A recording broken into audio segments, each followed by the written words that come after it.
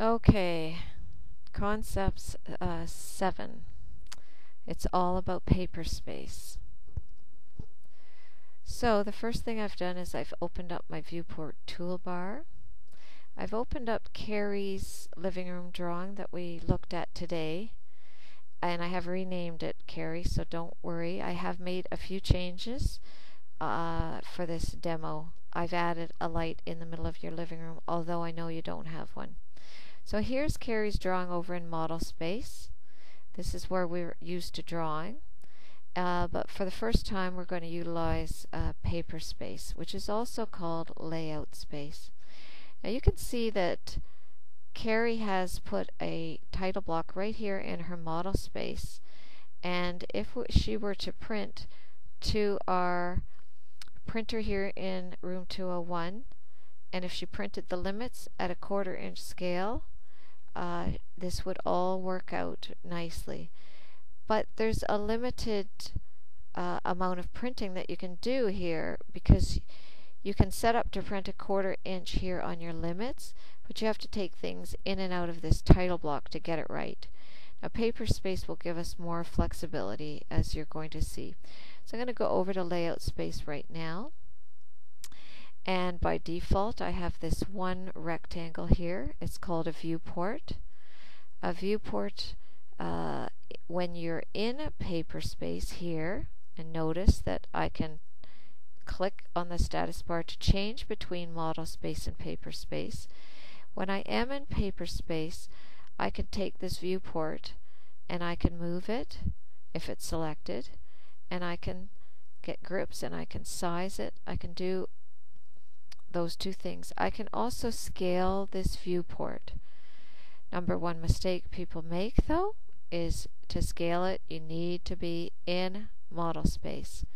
When you're in model space one clue is that this viewport frame gets very thick and heavy.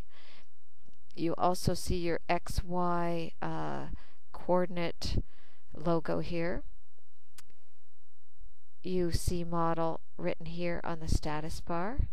You can toggle between those two here.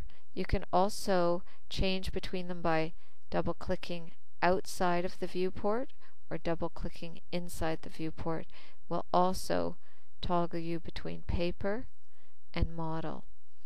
So I'm in model space right now and I'm going to center her drawing in the viewport and in model space, I can put a scale on here. So usually you come down here and we're going to put a quarter inch scale. So you can see my frame isn't big enough to have both of these, but that's okay because right now I only want the plan. And I'm actually going to right click on this layout and rename it so that I know what I have on here. So this is the plan view. Now I'm going to come back to paper space, which is when I can size this. I'm going to get rid of the elevation out of that viewport. And he, now I have just the plan, and I can move that viewport and center it on my page. And I'm going to take this frame of the viewport, and I'm going to put it on the viewport layer, which I had you guys make uh, for future purposes. So now it's on the viewport layer. I'm also going to go into the manager and find my viewport layer. It's right here. And I'm going to click this printer, which means do not plot this layer. Do not print it. It's another way of getting something not to print, but without turning it off. So I'm going to say OK. Now, while I'm in paper, I'm going to bring in a different title block. This title block over here is too big. It's like 40 feet wide. It's designed uh, for model space. But over here in plan view, I have a title block that I already made in a drawing in model space and set up my limits for 8.5 by 11 and uh, designed it all for those limits and now I'm about to insert it. And I'm going to insert it as a block. I'm going to browse for it. Double click on it. By default it asks you to specify on screen. If you do that, you have to be savvy enough to know that when you click OK, that you need to now type in 0, comma 0, enter. So I'm going to just undo that and insert it again. This is what I recommend is to just let it do that work. It'll put it in where it belongs at the 0, 0. By default, this is not checked, but I do need it exploded. So I'm going to put the check in and say OK. And if you've used it once, you may get this message, and that's fine. Just say yes. And there's my title block. Now, I'm in Paperspace. It came in on Paperspace. That's what I want. I have made a title block layer. I'm going to switch it over to that.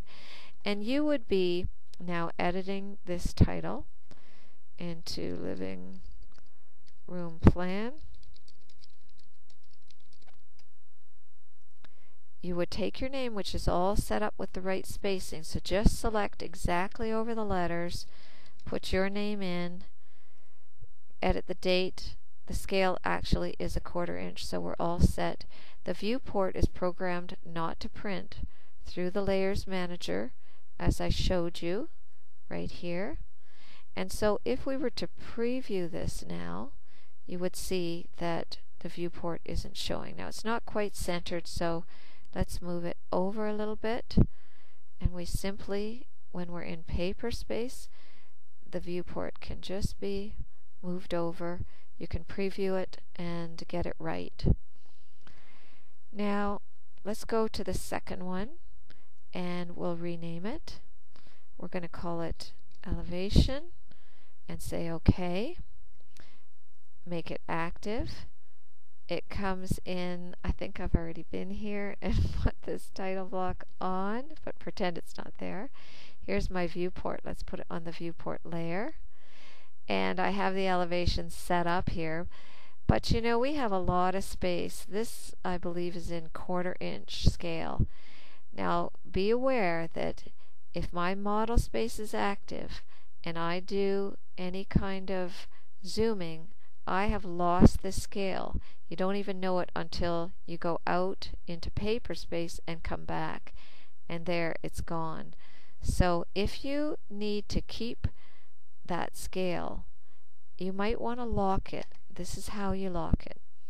In Paperspace, click the viewport, right click on it, and say yes.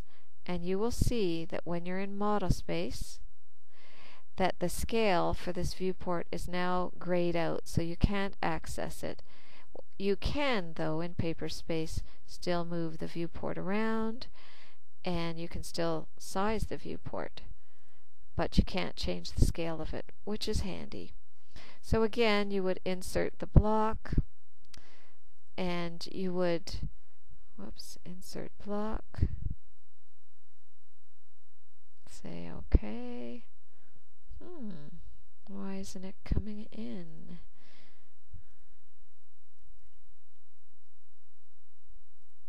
Okay, maybe I had the wrong block. So it's just come in, you would edit all that. But in this case, you know, this is a pretty little tiny picture. So, you know, I do want to change the scale of this. So I'm going to make the viewport bigger.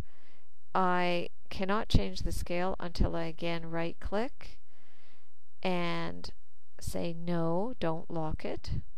Then I'm going to try a half inch scale and I need to be in model space for that to take effect. And there it is.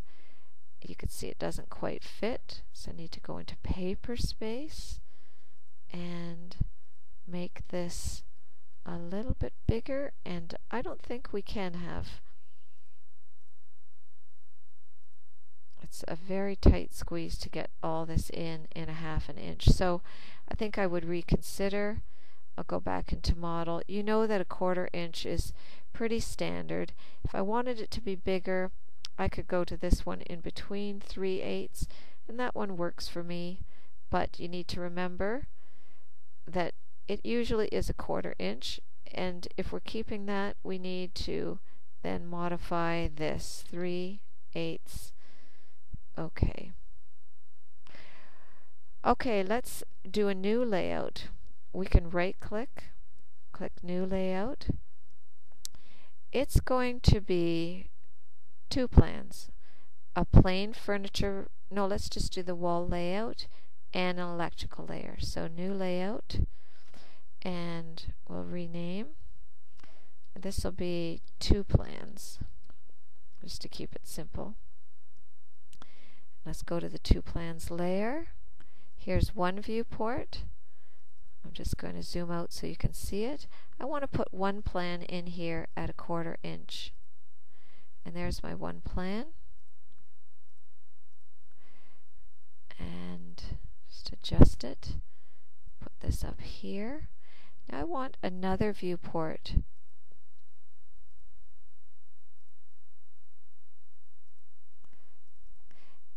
Double click it to make that active. Make it a quarter inch. There I have two plans. Now if I want one of these plans to show the electric work and but not the other one, if I turn my electrical layer off, I have a problem because it turns off in both.